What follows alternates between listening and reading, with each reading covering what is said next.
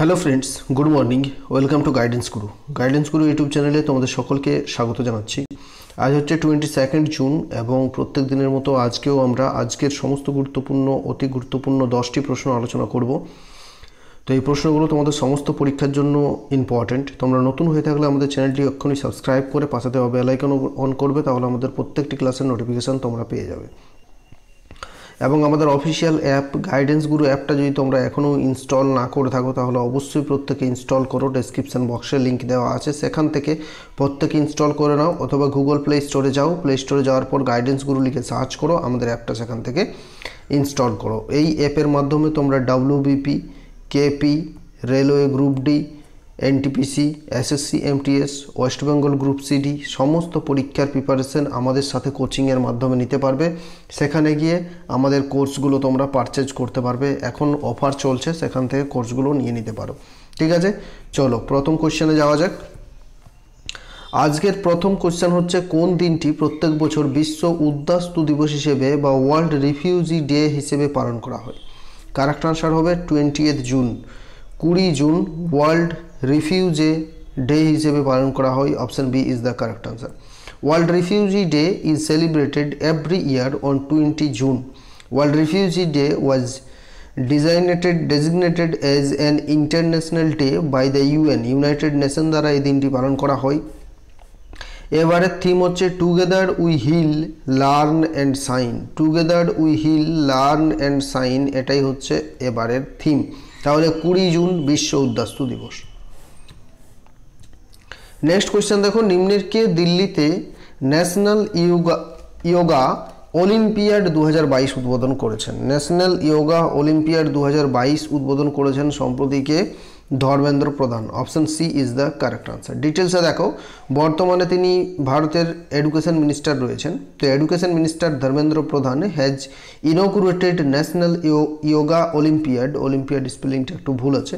Olympiad দু হাজার বাইশ and quiz competition in New Delhi তিনি এই অলিম্পিয়াড এবং কুইজ কম্পিটিশন দিল্লিতে উদ্বোধন করলেন। The national yoga olympiad is being organised jointly by the Ministry of Education and the National Council of Educational Research and Training আমাদের শিক্ষা মন্ত্রক দ্বারা এবং National Council of Educational Research and Training দ্বারা যৌথভাবে এটা উদ্যোগ এটা চালু করা হয়েছে।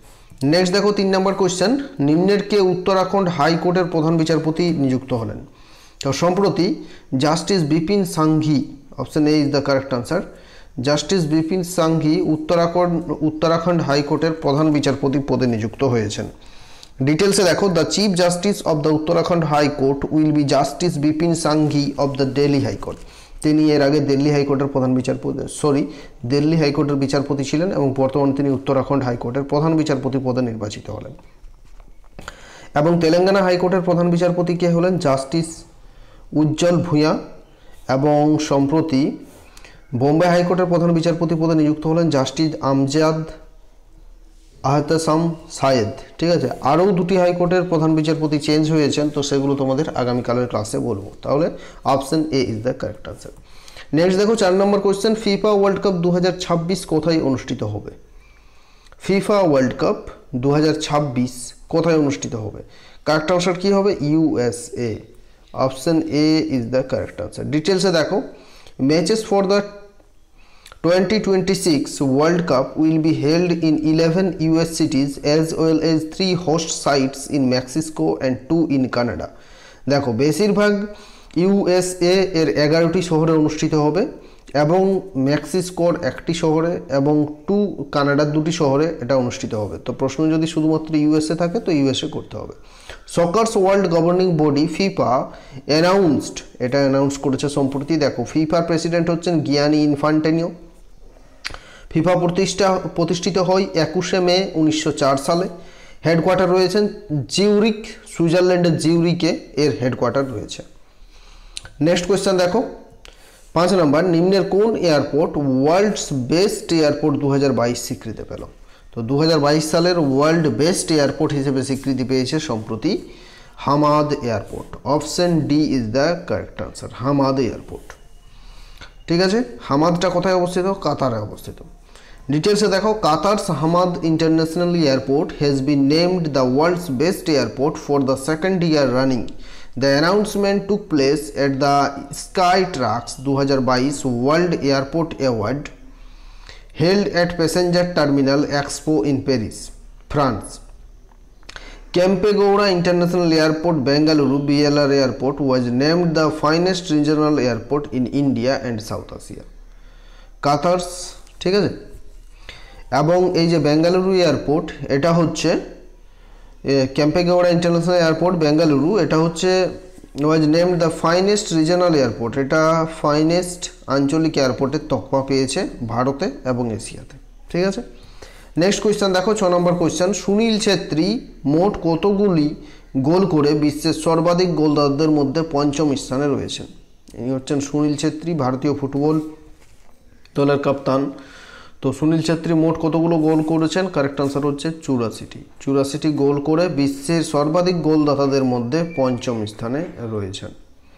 Sunil Chhetri is the third highest goal scorer in international football among active players বর্তমান যে প্লেয়ারগুলো খেলার সঙ্গে যুক্ত রয়েছেন অ্যাক্টিভ প্লেয়ার তাদের মধ্যে তিনি তৃতীয় স্থানে।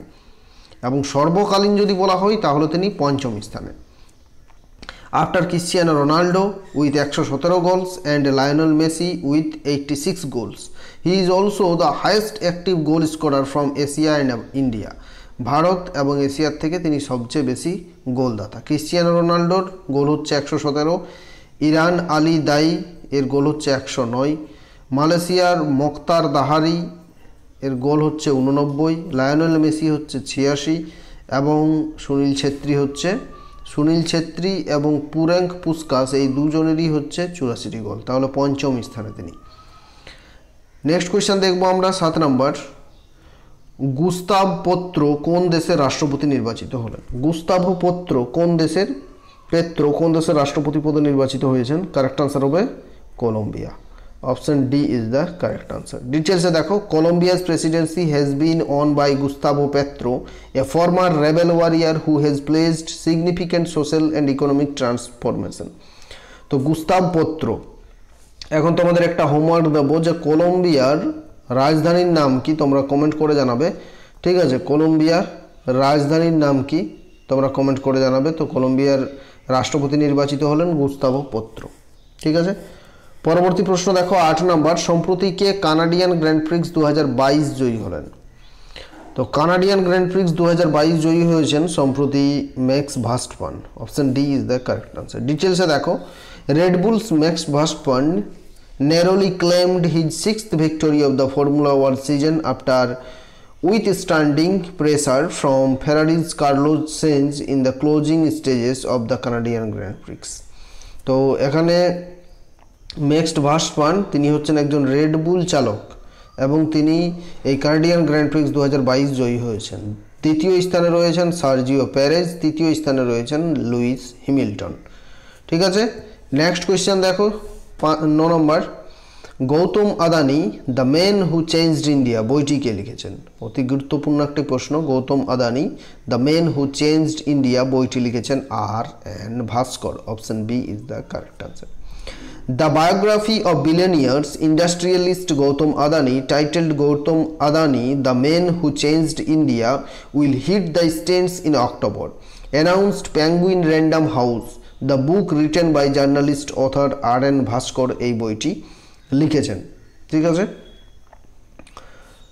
নেক্সট কোয়েশ্চেন দেখো, দশ নম্বর। সম্প্রতিকে দু হাজার বাইশ সালের ওমেন্স প্রাইজ ফর ফিকশন পেয়েছেন? ওমেন্স প্রাইজ ফর ফিকশন দু হাজার বাইশ সালের কে পেয়েছেন? কারেক্ট আনসার হবে Ruth Ozeki option D is the correct answer ইনি হচ্ছেন রুথ ওজেকি তিনি সম্প্রতি ওমেন প্রাইজ ফর ফিসকেন পেয়েছেন।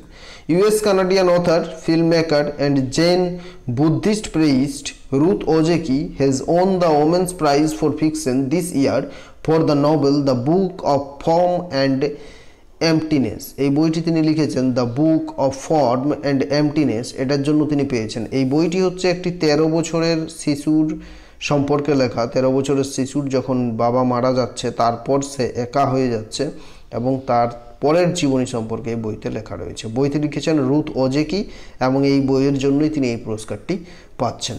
ঠিক আছে? তো আমাদের ক্লাস ভালো লাগলে অবশ্যই এক্ষুনি একটা লাইক করবে, তোমার বন্ধুদের সাথে এক্ষুনি একটা শেয়ার করে দাও, বেশি বেশি করে শেয়ার করো তোমার বন্ধুদের সাথে। আমাদের টেলিগ্রাম চ্যানেলে জয়েন করো, এটা হচ্ছে আমাদের Telegram channel Guidance Guru official এই চ্যানেলে জয়েন না করে থাকলে অবশ্যই প্রত্যেকে প্রত্যেকে তোমরা জয়েন করে যাও। আমাদের অফিসিয়াল অ্যাপটা ইনস্টল করে নাও অফিসিয়াল অ্যাপের নাম হচ্ছে গাইডেন্স গুরু গুগল প্লে স্টোরে গিয়ে গাইডেন্স গুরু লিখে সার্চ করো, আমাদের অ্যাপটা ইনস্টল করো। Thanks for watching this video thank you সুস্থ থেকো, ভালো থেকো।